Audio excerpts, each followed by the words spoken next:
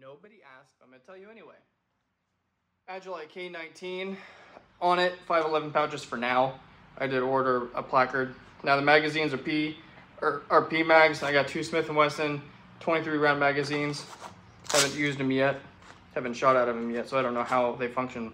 Got flashlight, flashlight uh, pouch. Trauma shears, radio pouch. For my belt, I got two 15 round Smith & Wesson magazines. I carry 92 rounds total. I got another rifle magazine right here on my side. I can drop pretty easily, index it, do whatever I need to. Boom. Right. And then I got my dump pouch. I just keep extra rounds and batteries in there right now. Uh, tourniquet and IFAK. The entire setup. I keep my right side clear because I want to get that clean draw.